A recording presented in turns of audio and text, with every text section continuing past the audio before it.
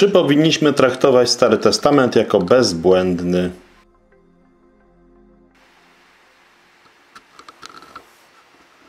Serdecznie witam na naszym kolejnym wykładzie dotyczącym wiarygodności Biblii Starego Testamentu. Gdyby apostoł Paweł, gdy apostoł Paweł w swojej drugiej podróży misyjnej około 52 roku po Chrystusie przybył do Tesalonik, głosił on w trzy kolejne soboty w synagogach Ewangelię. Podstawą był Stary Testament. On mówi o Starym Testamencie. I w nim znajduje się wiele odniesień do Pana Jezusa Chrystusa, które potwierdzają słowa z Ewangelii 24 Łukasza gdzie czytamy, że Pan Jezus rozmawiając z uczniami idącymi do Emaus wykładał im, co Stary Testament o nim mówił. Później, kiedy apostoł Paweł pisał list do Tesaloniczan, jak czytamy w 1 Tesaloniczan 2,13, Dlatego też nieustannie dziękujemy Bogu za to, że otrzymawszy od nas Słowo Boże, przyjęliście je jako nie jako słowo ludzkie, ale jak jest naprawdę jako słowo Boże, które działa również w was wierzących.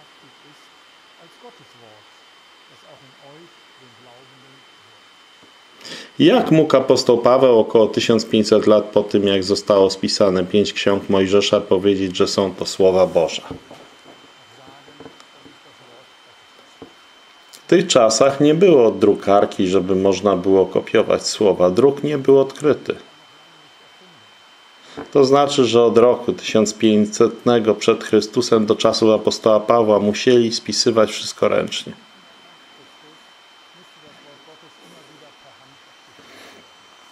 Jeśli przypomnicie sobie swoje szkolne lata, to wiecie, że przepisywanie tekstu nigdy nie było bez błędu, a jeśli uczeń tylko na czterech kartkach formatu A4 popełni pięć błędów, to jest to oczywiście dobry uczeń.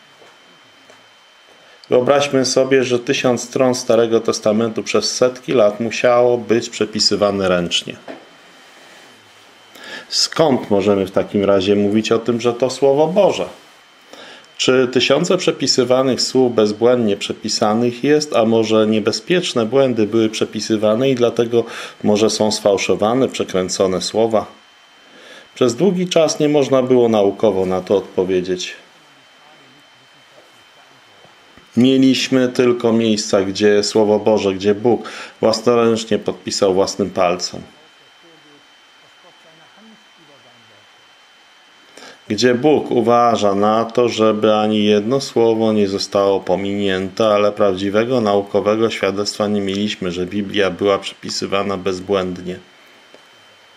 To zmieniło się dopiero kiedy w 1947 znaleziono dokumenty z woje Qumran w jaskini niedaleko Morza Martwego. Znaleziono tam dużo, bardzo dużo fragmentów, a także całe strony Starego Testamentu. Tym najbardziej znanym jest zwój Izajasza. Zwój ten był z około 150 roku przed Chrystusem i jest około 500-600 lat po oryginale spisanym zwojem. Wiadomo, co zrobili naukowcy. Wzięli ten tekst i porównali z dzisiejszym tekstem Izajasza, jaki znamy i okazało się, że jest identyczny.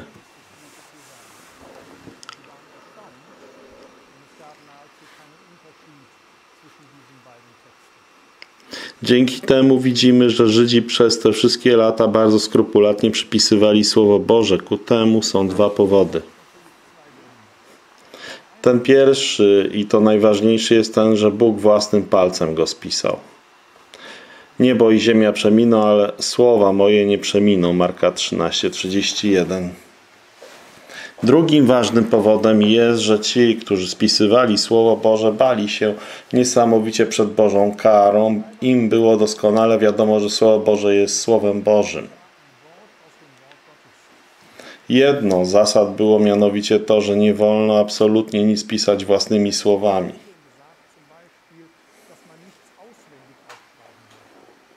To znaczy, że Żyd nie słuchał najpierw, a potem pisał własnymi słowami nawet jednego słowa, tylko że pojedyncze litery były spisywane litera po literze.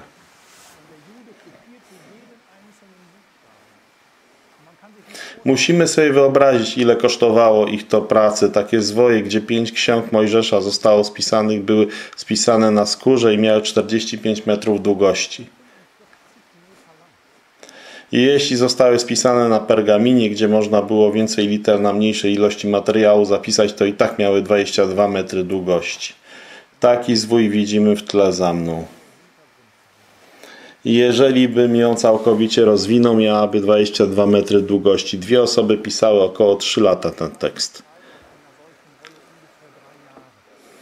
Jeżeli napisali 5 liter według własnej interpretacji z głowy, to musieli wszystko przepisywać od nowa. W takiej sytuacji było to 3 lata zmarnowane.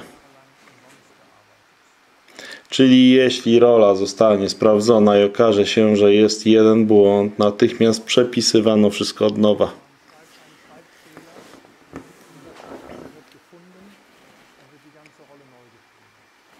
Dlatego tak szczegółowo kontrolowali, bo wiedzieli, że piszą Słowo Boże.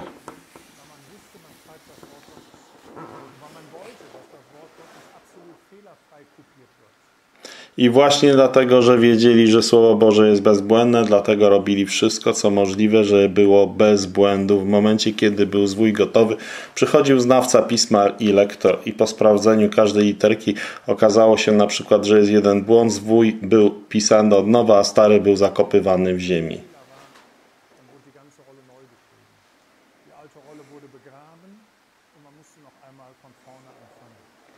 Nikt chyba nie jest w stanie sobie wyobrazić, ile pracy w to włożono, i dlatego właśnie to jest ludzka strona, dlaczego Stary Testament został spisany i zachowany bezbłędnie.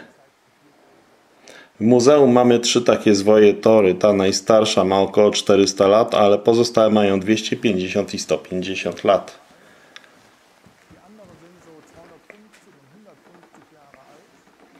Pochodzą z różnych regionów świata, jedna z Rosji, druga z Izraela, a jeszcze inna z Portugalii. Porównywaliśmy wszystkie trzy i okazało się, że nie znaleźliśmy żadnej różnicy. Tak skrupulatnie spisywali Żydzi Stary Testament. Ten przykład daje nam dowód na to, że rzeczywiście Bożą ręką jest spisane. To pokazuje nam, dlaczego Tesaloniczanie byli przekonani, że wtedy, kiedy apostoł Paweł używał zwoju Tory 1500 lat po oryginale spisanym przez Mojżesza, nadal był to ten sam oryginalny tekst, który spisał Mojżesz, dlatego byli przekonani, że to jest rzeczywiście Słowo Boże. Bóg miał wszystko pod kontrolą, ale nie tylko po to, żebyśmy Słowo Boże mieli w posiadaniu, ale także, abyśmy je czytali. Żebyśmy zrozumieli, że Bóg jest nieskończenie wielki, żebyśmy zrozumieli, że ludzie niesamowicie się bali Słowa Bożego, mieli respekt, żebyśmy zrozumieli wspaniały Boży przekaz. Że Bóg jest kochającym Bogiem. Że każdemu człowiekowi ofiaruje swoją łaskę i że Biblia mówi nam, że jest tylko jedna, jedyna możliwa droga do Boga. To jest ta droga, którą wierzymy, że Jezus Chrystus od Ojca pochodzi, że żył tu na ziemi i że został ukrzyżowany na krzyżu Golgoty, że za nasze grzechy umarł,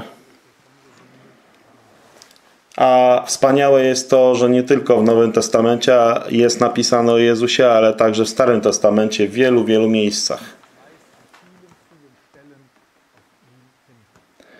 Tak jak Stary Testament, tak i Nowy są jednym, całością. Możemy być pewni, że obydwa to Słowo Boże. I jako dowód mamy dzisiaj tekst, który dawno temu Bóg przekazał ludziom. Przekład z niemieckiego YS. Polska wersja Czytaj Biblię Ostrzeszów.